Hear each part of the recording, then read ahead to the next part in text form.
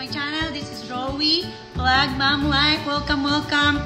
Yesterday, I did a school supply haul. So today, checkin natin lahat ng mga nabili ko at hindi ko nabili guys sa gamit ng mga anak ko this coming school. Okay, let's start guys. Today is, una ko nabili is, oh, umpisan muna natin sa listahan mga beshies.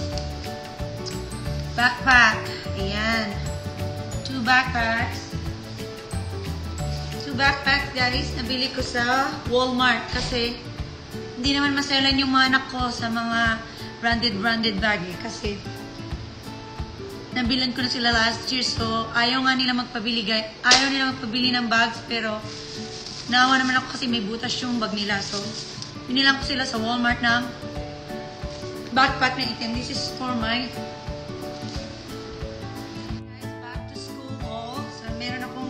for my eldest.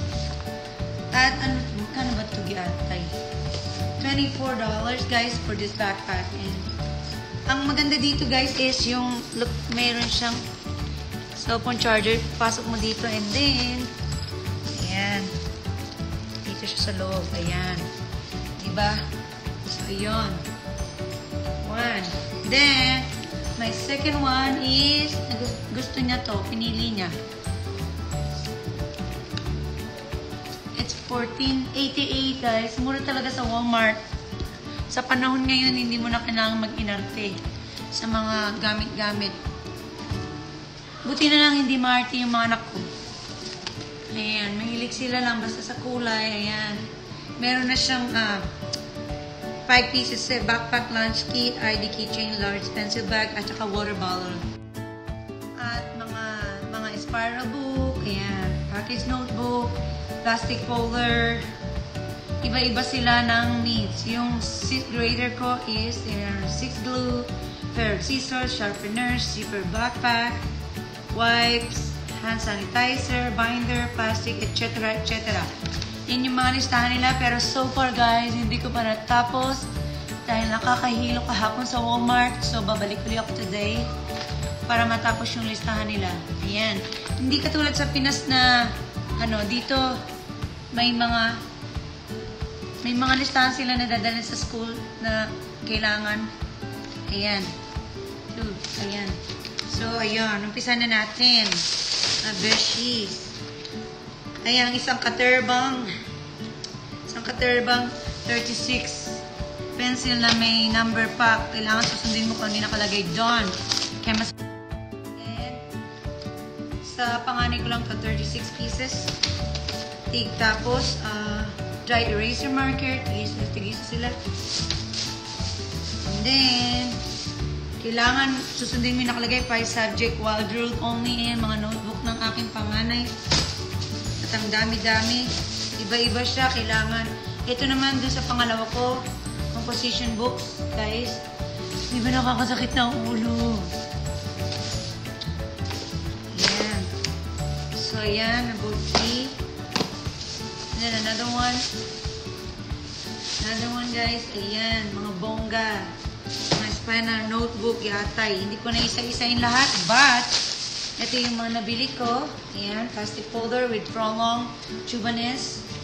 Ang nakalagay dito ay kailangan ng uh, two pockets plastic na folder kasi matibay guys.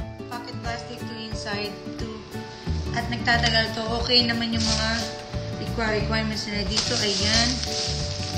Tapos meron ding ah nga pala guys, only 50 cents yata to. Hindi ko na mahanap yung ano eh, yung hindi ko alam kung saan ko nalagay yung receipt. receipt. 50 cents. Yung iba nito, hindi naman kamahalan. Ayan.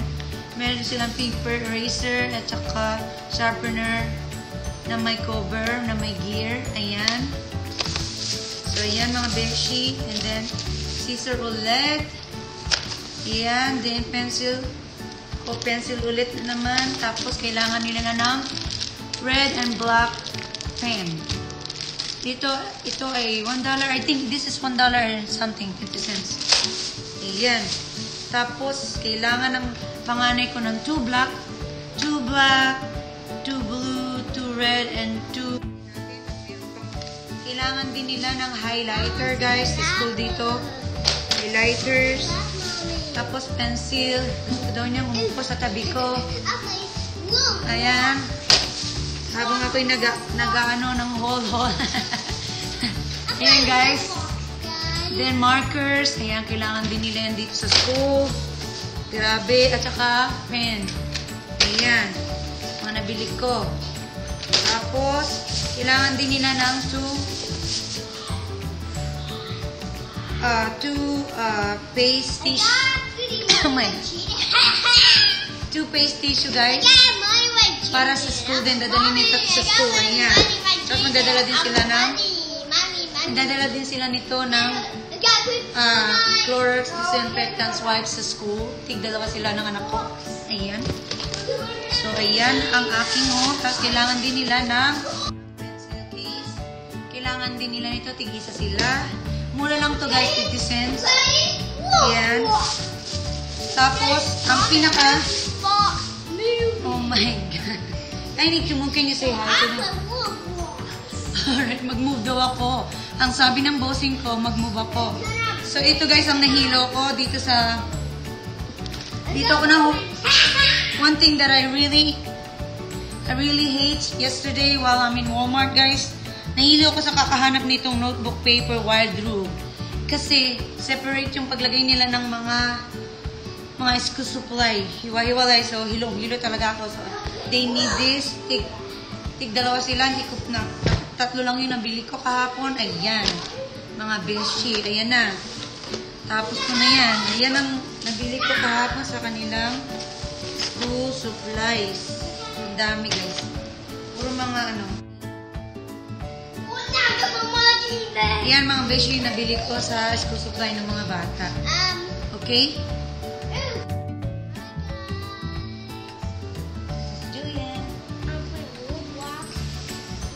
Alright, we're done with this, okay?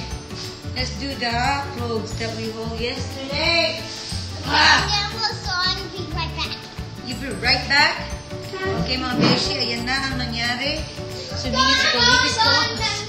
Ayan na, tapos na tayo sa school supply, mga beshi. Doon naman tayo sa nabili kong damit sa mga junakis ko. Kailangan, lalo na, pag may anak ka talaga, gugora ka sa, ito, naggora ako guys ha. Saan ko na? Ayan guys, ito, nagora ko sa children's place guys kasi marami sale doon.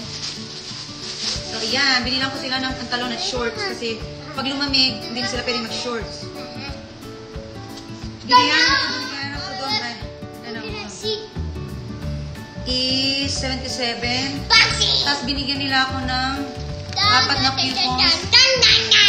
Apat na coupons na ticket sa $10. Ayun. Sa susunod kong purchase, ayan.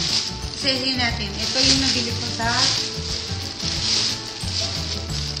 pantalon guys, cargo pants is cargo pants.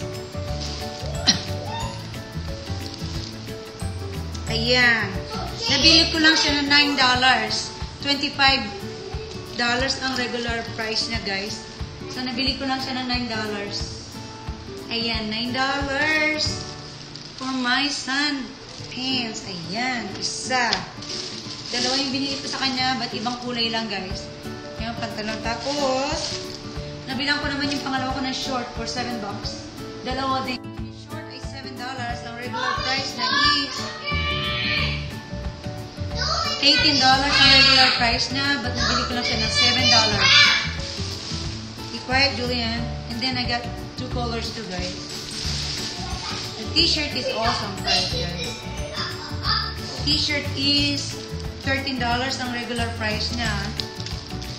Oh my goodness, nakuha ko lang siya ng t-shirts. $6 guys. Ay no, not $6. Yes. $6 kasi ang price niya is 13 So, yun. Yung price niya guys is 13 Nakuha ko sa kan... Nabili ko kapon ng seven, um, $6 each. So, nabilang ko sila ng tig dalawang ibang kulay para naman pag pumasok sila, ayan. Tig $7 na dati ay 15 siya. Nag-crunch sila guys ng polo shirt. Look. Bongga, di ba guys? polo shirt. Ang presyo nito guys is $19. So I got it. $19. Let's see. Tingnan natin kung magkano natin nakuha yung $19. Um, parang ang tagal kong magbasa. Teka. Tag your friends, car, print, white.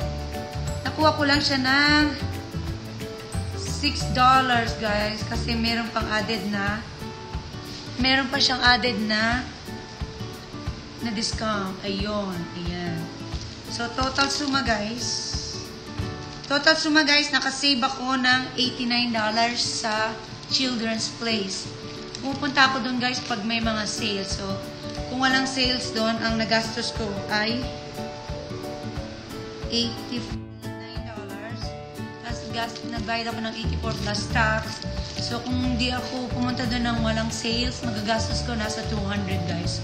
Pero niyo yun, $200 sa damit lang ng mga bata. Dalawa kong anak. So, yun. Kaya lagi ako pupunta noon pagka may sales. Kasi minsan, pag pumunta rin ako sa Goodwill, yung mga presyo ng Goodwill nila dito is, thrift store Goodwill nila minsan 8 bucks. Tapos pumunta ako sa Children's Place, may tig $6 at saka $7 na t-shirts, brand new pa. Kaya minsan, yung thrift store Goodwill namin dito, hindi ko rin masyadong inaano. Depende lang kung yung, yung dress or t-shirt is 2, to 3 dollars, then I go there. Masyad, minsan mataas silang mag-presyo dun. So, ayun guys. Ayan for today, for the kids thing, for, uh, for the kids talk from school. So, that's it for today guys. And I'll see you guys on my next vlog. Bye! Thank you guys. Mwah! Bye guys! Bye guys, I see you. oh my gosh. Say bye guys, I see you guys later. Bye. Mwah.